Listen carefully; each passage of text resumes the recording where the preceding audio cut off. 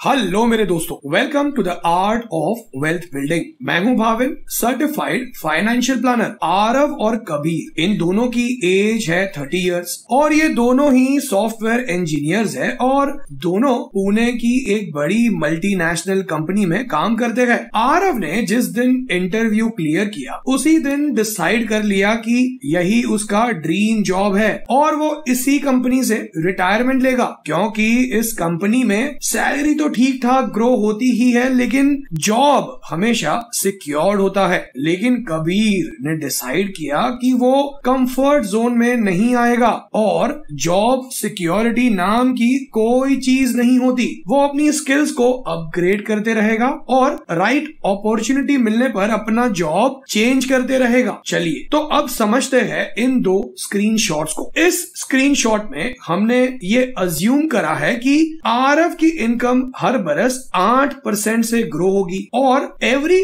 Fourth year उसकी income twelve percentage से grow होगी क्योंकि उसकी डेजिग्नेशन भी चेंज होगी विच मीन्स कि जब उसकी एज थर्टी थ्री ईयर्स होगी, तब उसकी इनकम ट्वेल्व परसेंटेज से इंक्रीज होगी। और फिफ्टी ईयर्स की एज से आरव की इनकम स्टेबल हो जाएगी और आठ परसेंट से ही होगी उसकी एज फिफ्टी फाइव ईयर्स के होने तक। फ़िलहाल आरव की सैलरी वन लाख रुपीज़ है। लेकिन अगर हम सेवन परसेंटेज इन्फ्लेशन अज्यूम करते हैं तो एक बरस बाद वन लाख रुपीज़ का purchasing power ninety three thousand rupees के बराबर रहेगा। महँगाई बढ़ बढ़ने के कारण जब आरव 31 इयर्स का होगा तब उसकी इनकम वन लाख रुपीज़ से बढ़कर one lakh eight thousand rupees होगी। अब यहाँ उसकी इनकम आठ परसेंट से यानी एट थाउज़ेंड रुपीज़ से बढ़ गई लेकिन सेवन परसेंटेज से महँगाई भी तो बढ़ी विच मीन्स कि दो सालों बाद इस one lakh eight thousand rupees का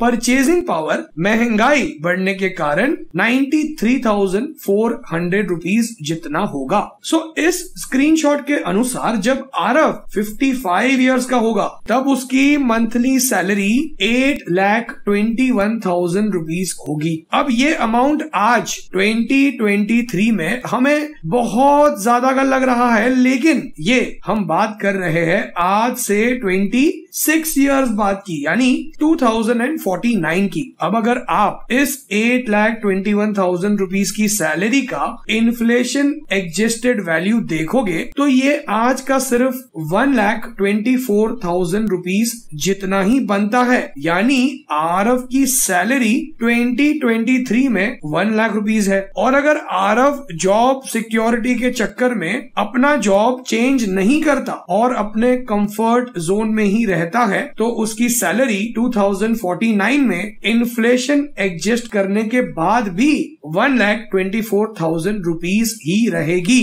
विच मीन मीन्स कि आरव का जॉब तो सिक्योर्ड है, लेकिन वो अपनी लाइफ स्टाइल अपग्रेड नहीं कर पाएगा महँगाई बढ़ने के कारण। चलिए तो अब हम समझते हैं कि कबीर जो अपनी इनकम को बढ़ाने पर फोकस करता है और हर चार सालों में जॉब चेंज करता है, उसका क्या होगा? अब इस स्क्रीनशॉट में हमने अज्यूम करा है कि कबीर की सैलरी आठ परसेंट से ग्रो होगी और इन्फ्लेशन सेवन परसेंटेज है। लेकिन चार चार सालों में कबीर अपना जॉब चेंज करेगा और उसकी इनकम 30 परसेंटेज से ग्रो होगी। लेकिन 50 इयर्स की एज से लेकर 55 तक की एज तक उसकी इनकम फ्लैट 8 परसेंट से ही ग्रो होगी। सो so, यहाँ आप ऑब्ज़र्व करोगे कि कबीर की इनकम 2023 में वन लाख रुपीज़ है, लेकिन 26 इयर्स बाद, यानी 2049 में उसकी income 17 lakh thirty thousand rupees है, जो आज हमें 2023 में बहुत ज़्यादा अमाउंट लग रही है। लेकिन अगर हम इसे इन्फ्लेशन के साथ एडजस्ट कर दे तो इन पैसों की परचेजिंग पावर आज के two lakh sixty two thousand rupees जितनी ही होगी। लेकिन आरव के मुकाबले कबीर अपनी लाइफ स्टाइल समय के साथ अपग्रेड भी कर पाएगा। आई एम श्योर कि कई सारे लोग कमेंट करेंगे कि 17 लाख रुपीज़ पर मंथ किसी की सैलरी कैसे हो सकती है? तो अगर मैं आपसे ये कहूँ कि 2023 में अगर किसी की इनकम वन लाख रुपीज़ है और उसकी इनकम 26 इयर्स पहले यानी 1997 में 11,500 रुपीज़ थी तो क्या आप यकीन करोगे? लेकिन 1997 में अगर किसी ने कहा होता कि 11,500 रुपीज़ कमाने वाले की इनकम 2023 में वन लाख रुपीज़ होगी तो तब कोई ये यकीन ही नहीं कर पाता क्योंकि वन लाख रुपीज़ का परचेजिंग पावर 1997 में काफ़ी ज़्यादा का था। अब आई एम श्योर कि कई सारे लोग ये भी कहेंगे कि हर साल इनकम आठ परसेंट से थोड़ी बढ़ती है। हाँ मैं भी इस बात से अग्री करूँगा कि हर साल आठ परसेंट से इनकम नहीं बढ़ती और एक दो बरस नहीं बढ़ी तो इट्स एक्सेप्टेबल लेकिन अगर पिछले चार पाँच सालों से नहीं बढ़ी तो एक बात समझ लीजिए कि इन्फ्लेशन यानी महँगाई को ये नहीं पता कि आपकी इनकम बढ़ी है या नहीं। आपका इंटरनेट बिल रेंट दूध का दाम मेंटेनेंस बच्चों की school fee electricity bill grocery laundry का बिल इत्यादि का कॉस्ट तो बढ़ने ही वाला है। चलिए तो अब कुछ और डिटेल्ड कैलकुलेशन की मदद से समझते हैं कि कैसे आरव जॉब सिक्योरिटी के चक्कर में, कबीर के कंपैरिजन में वेल्थ क्रिएशन भी नहीं कर पाएगा। और इन्हें समझे उससे पहले, आप इस चैनल को सपोर्ट करना चाहते हैं? तो इस वीडियो को लाइक ज़रूर कीजिए और नहीं अच्छा लगा तो डिसलाइक कर दीजिए। और अगर आप अपना पर्सनल फाइनेंशियल प्लान बनवा कर ये समझना चाहते हैं कि कैसे आप अपने पर्सनल फाइनेंशियल गोल्स जैसे इन्फ्लेशन एडजस्टेड रिटायरमेंट घर खरीदना, कार खरीदनी वेकेशन बच्चों की हायर एजुकेशन जैसे गोल्स अचीव कर सकते हैं तो व्हाट्सएप कीजिए इस नंबर पर। अब इस स्क्रीनशॉट के अनुसार हमने ये अज्यूम करा है कि आरव हर महीने अपनी इनकम का 25 परसेंटेज इन्वेस्ट करेगा। और जैसे जैसे उसकी इनकम बढ़ेगी तो वो उसकी इन्वेस्टमेंट अमाउंट को भी प्रोपोर्शनेटली बढ़ाता जाएगा। जैसे फ़र्स्ट ईयर में ट्वेंटी फाइव थाउज़ेंड रुपीज़ हर महीने, फिर twenty five percentage of one lakh eight thousand rupees यानी ट्वेंटी सेवन थाउज़ेंड रुपीज़ हर महीने एंड सो ऑन तो ट्वेल्व परसेंटेज रिटर्न अजम्पन के हिसाब से फिफ्टी फाइव ईयर्स के होने पर, यानी ट्वेंटी सिक्स ईयर्स बाद उसके पास होंगे four crore thirty five lakh rupees. लेकिन सेवन परसेंटेज इन्फ्लेशन के हिसाब से 2049 में मिलने वाले इन पैसों की कीमत आज के यानी 2023 के 66 लाख रुपीस जितनी ही होगी। सो so, अब समझते हैं कि कबीर कितने अमाउंट की वेल्थ क्रिएट कर पाएगा। Let us look at this screenshot अब कबीर भी अपनी इनकम का 25 परसेंटेज इन्वेस्ट करेगा और अपनी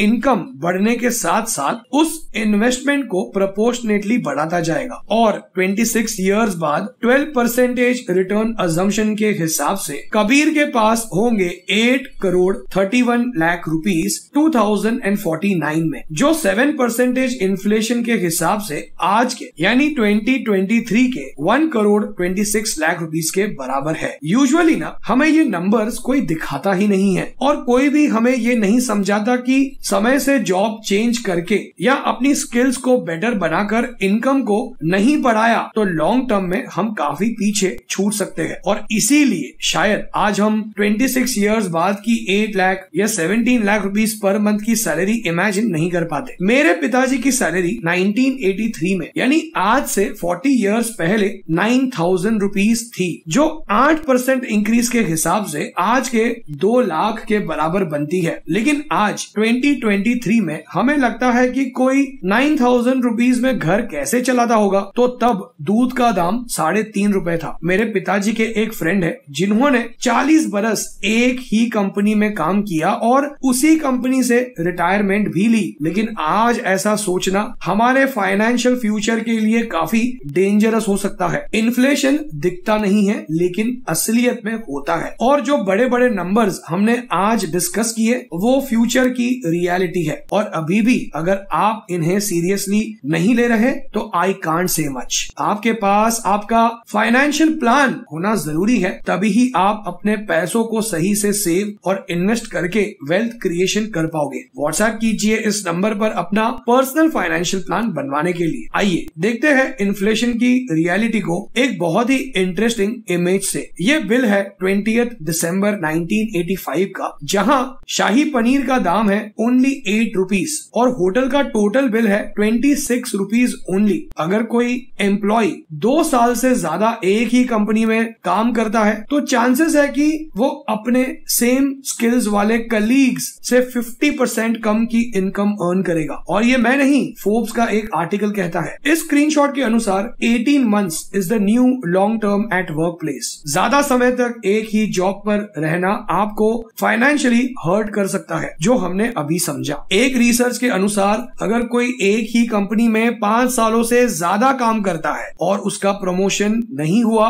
तो उसे नॉन रिक्रूटेबल माना जाता है। Let me share one personal story मैं जिस बैंक में 2009 में जॉब करता था, मेरा एक कलीग आज भी उसी बैंक में नौकरी कर रहा है। वो भी बिना प्रमोशन के। आपको पता है, उसका जॉब चेंज ना करने का क्या रीजन है? उसका होम लोन चल रहा है। और पिछली बार जब हम मिले थे तो I was surprise to know की उसकी इनकम सिर्फ़ थ्री परसेंटेज से ग्रो हुई है हर साल पिछले फोर्टीन ईयर्स में। So one of the reason की लोग जॉब चेंज करना प्रेफर नहीं करते हैं having a debt on their head उन्हें डर लगता है कि अगर नया जॉब सिक्योर नहीं हुआ तो या कंपनी का वर्क कल्चर अच्छा नहीं हुआ तो। सो होम लोन ले तो लिया है मेरे एक्स कलीग ने, लेकिन इस होम लोन ने इनडायरेक्टली उसके करियर पर काफ़ी बुरा इम्पैक्ट किया है। सो आई होप कि आज इस वीडियो से कुछ सीखने ज़रूर मिला। और ऐसा है तो इस वीडियो को लाइक कीजिए, वरना डिसलाइक कर लीजिए। आप यहाँ नए हैं और हमारे चैनल पर वीडियो पहली बार देख रहे हैं तो सब्सक्राइब ज़रूर कीजिए। आप हमारी website the art of wealth building dot com पर भी विज़िट कर सकते हैं। आप हमें इंस्टाग्राम पर the art of wealth building search करके भी फॉलो कर सकते हैं। और अगर आपने ये वीडियो एंड तक देखा है तो आपका कीमती समय देने के लिए बहुत बहुत धन्यवाद।